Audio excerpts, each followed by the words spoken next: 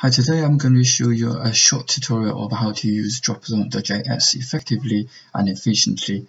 Dropzone is a good package for uh, uh, for uploading and downloading at the same time deleting uh, images or files, right? And the example I'm going to show you today, let's cross that, uh, is one is one of the projects I did for one of my customers.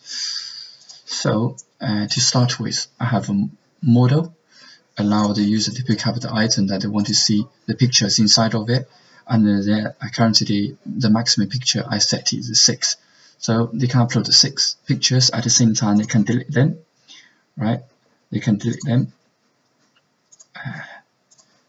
So every single time when the delete button is pressed I use Ajax right? Send the data back to my PHP and delete it from the actual server um, the uh, the difficulty I met when I used Dropzone.js is uh, before I haven't used the model right?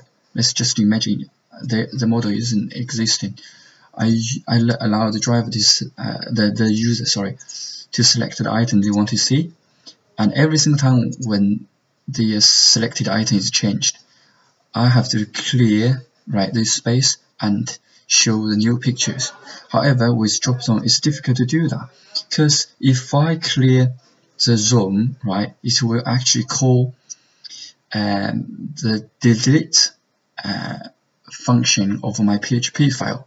So it will actually delete all of them, which is uh, not what I want. I just want to clear the uh, the space. But uh, at the moment, based on my understanding, you, you, it's not programmable. So what it did is come up with a model design.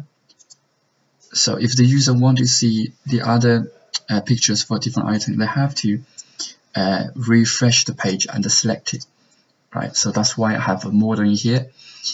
And uh, uh yeah, so if you have a similar project and uh, and you want to know how to use Dropzone.js, you should watch the next video.